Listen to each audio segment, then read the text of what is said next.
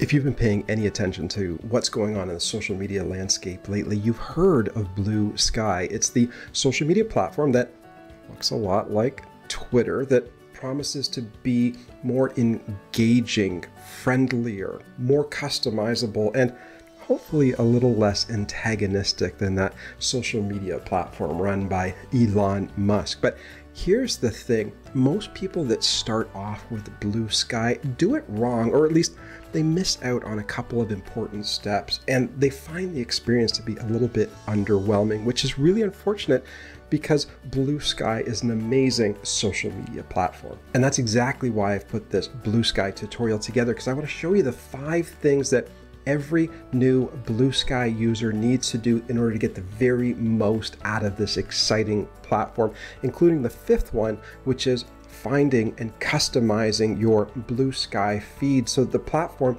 gives you exactly the type of content that you want to see. But before we can do that, we've actually got to register and log into Bluesky, which is super easy to do, but that is exactly what we're going to do next.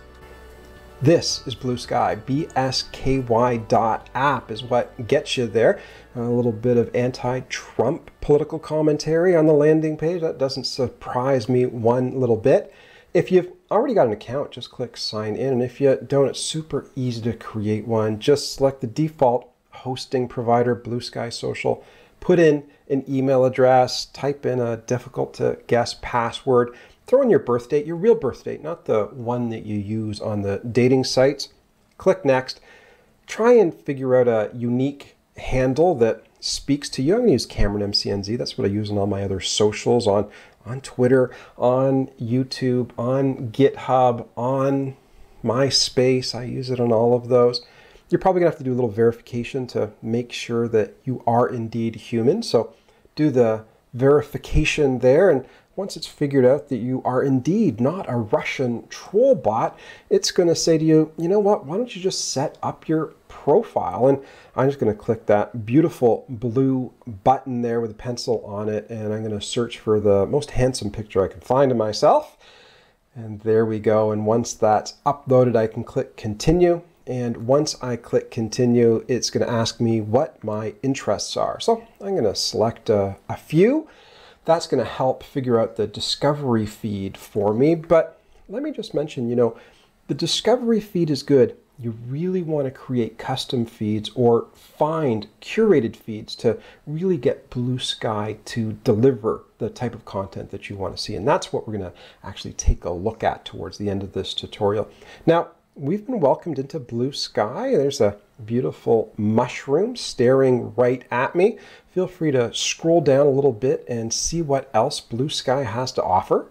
I would like to comment on this beautiful landscape here, but look what happens when I try to. It says, look you gotta at least verify your email before you can start commenting and replying to posts on Bluesky. So what I'm gonna do here is behind the scenes, I'm actually going to verify my email. Just gonna take a second and once I've done that, I can actually come back in here.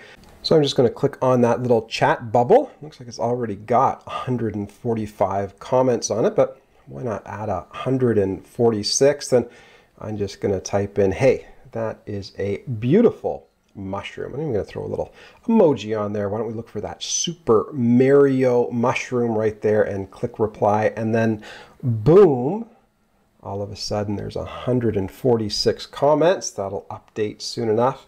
And you've replied to your very first post on Bluesky. You are now being social on social media. Now, what do you do next?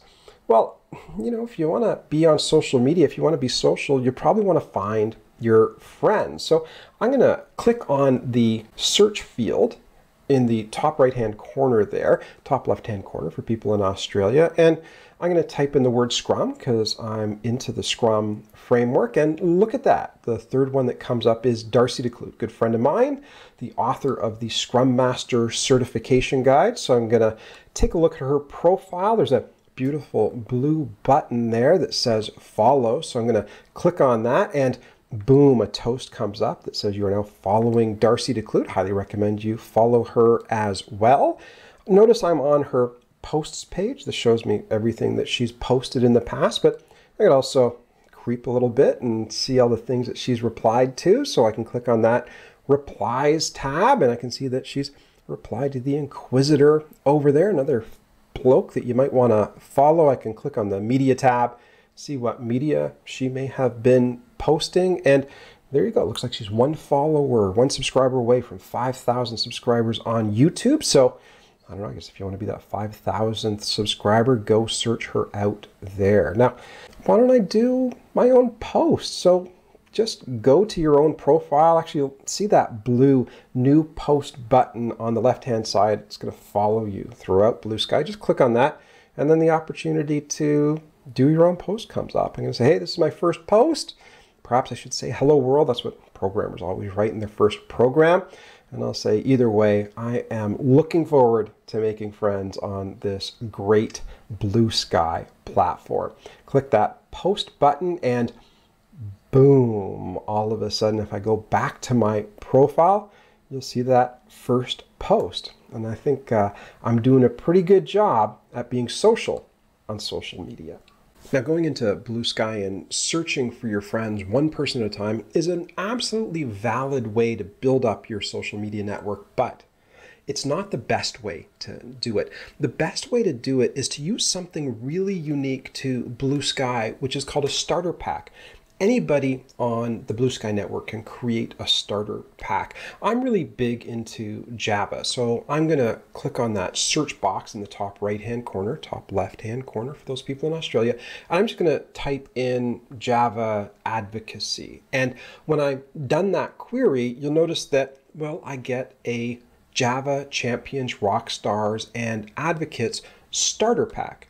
And if I click on that starter pack, what I get is a, a listing of thought leaders, interesting people, personalities that are associated with Java and the Java advocacy space. So we can see Mark Heckler, Mark Reinhold, Adam Bien, Bruno Borges, Trisha Gee, all right there.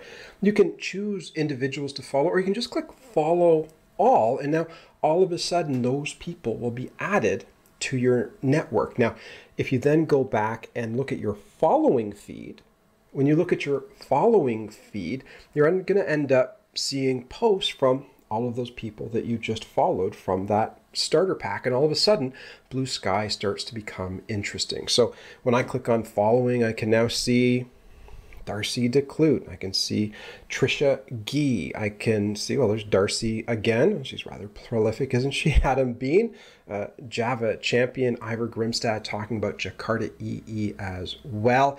That is the way to really build up your network initially with Bluesky and really start getting the most out of it. Now, as I said, I'm a, a, Java developer, so I look for starter packs that would have to do with artificial intelligence and programming, maybe Mojo, Python. But, you know, maybe you're into equestrian, maybe you're into horse racing, maybe you're into literature. I'm really big on extreme ironing go and find starter packs and personalities who have interesting to, things to say in those spaces. As I said, you can really build up your network quickly and create a feed that is delivering the type of content that is exactly what you want to get out of Bluesky.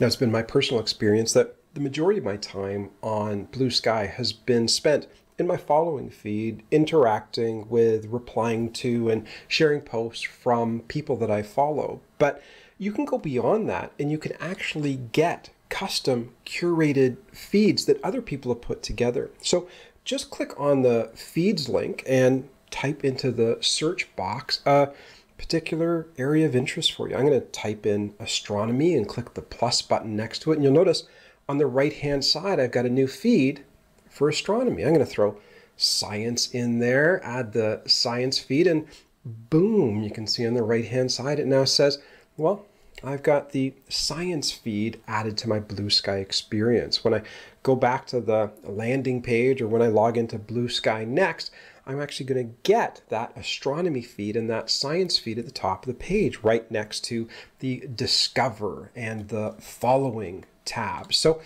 and here we go. I go in, I take a look at the Science tab, and it looks like there's a new HIV PrEP drug candidate. I'll want to go and take a look at that. And I look at my astronomy tab and well, look at that. The infinite monkey cage. I need to know as much about the infinite monkey cage as I can. So I'm going to bookmark that and take a look at that a little bit later. But that's the other way to get the most out of Bluesky.